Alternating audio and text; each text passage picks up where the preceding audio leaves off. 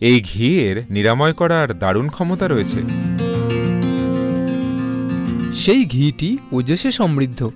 সাধারণত ওজসকে দেখা হয় শক্তির এক অভৌত মাত্রা হিসেবে। আঘাত বা যে কোনো অসুস্থতা যে কোনো কিছু থেকে আপনার আরোগ্য লাভ সহজেই হবে।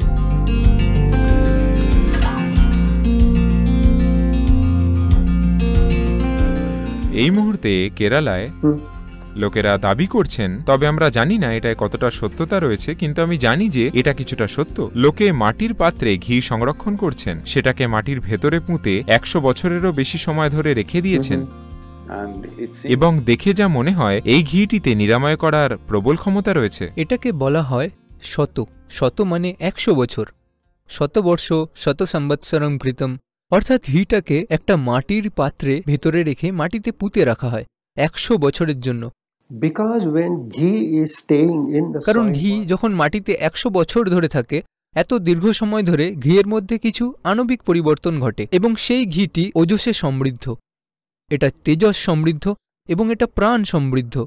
কারণ সবচেয়ে প্রাথমিক স্তরে বাদ দোষের আসল উপাদানটাই হলো প্রাণ। পিত্তর আসল উপাদানটা হলো তেজস আর কফের হলো ওজস।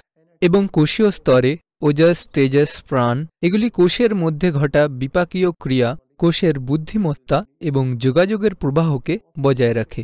প্রাণ হল যোগাযোগের এক প্রবাহ।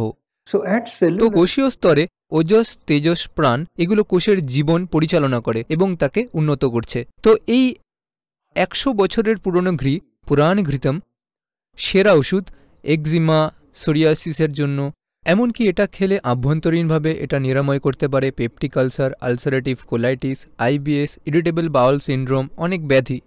এমনকি অটোইমিউন ডিজিজও এই পুরাণ ঘৃতম হল শ্রেষ্ঠম ওজস করম্পরম তাই এটা ওজসকে বাড়ায় বাড়িয়ে তোলে। তো ওজস তেজস প্রাণ এগুলো তিনটে গুরুত্বপূর্ণ উপাদান। এরা একটা কোষকে বাঁচিয়ে রাখে যাতে একটা কোষ আরও বেশি সময় বাঁচতে পারে। যোগবিজ্ঞানে সাধারণত ওজসকে দেখা হয় শক্তির এক অভৌত মাত্রা হিসেবে. আপনি যদি কারণ ভৌত সবকিছুই এসেছে অভৌত থেকে যদি আপনি শক্তির অভৌত মাত্রার এক খোলস তৈরি করেন খোলস মানে এরকম কিছু নয়। কোষীয় স্তরে প্রতিটা কোষের কিছুটা নিজের চারপাশে অভৌত মাত্রার মোড়ক থাকে সেই কোষটা ক্রমাগত নিজেকে পুনর্গঠিত করবে. এমন গতিতে যে তা অলৌকিক মনে হবে. তো আঘাত বা যে কোনো অসুস্থতা বা যে কোনো কিছু থেকে আপনার আরোগ্য লাভ সেরকম ভাবেই হবে। সর্বোপরি প্রথমত আপনি এত অসুখে পড়বেন না যে আপনাকে অসুস্থ বলা যায়। অসুখ কত হবে তা নির্ভর করছে কতটা উদ্দামের সঙ্গে আপনি জীবনযাপন করছেন তার উপর। কতটা উদ্দামের সাথে মানে দেখুন আপনি একটা সুন্দর শান্তিপূর্ণ জীবনযাপন করছেন। আমি এক উদ্দাম জীবনযাপন করি। আমি মোটর সাইকেলের ওপর ফুল স্পিডে রয়েছি। তো আমার জীবন সপ্তাহের সাত দিন ধরেই চলে। তিনশো পঁয়ষট্টি দিন। দিন বা রাত বলে কিছুই নেই। কখনো কখনো চব্বিশ ঘন্টাই কাজ। অন্যান্য দিন আঠেরো বা কুড়ি ঘণ্টার কাজ। এ এক উদ্দাম জীবন। কিন্তু তাও আমি একটা অনুষ্ঠানও বাতিল করিনি। আমি ভালো নেই বলে। বিগত উনচল্লিশ বছরে এরকম কোনো ঘটনা ঘটেনি। সুতরাং একটা নির্দিষ্ট পরিমাণ ওজাস সর্বদাই আপনাকে আবার আগের অবস্থায় নিয়ে আসে।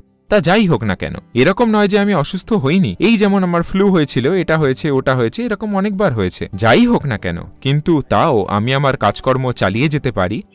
তো এই আপনি যা বললেন তাতে আমি বেশ কৌতূহল বোধ করছি যে ওজাস হল সেই ধরনের শক্তি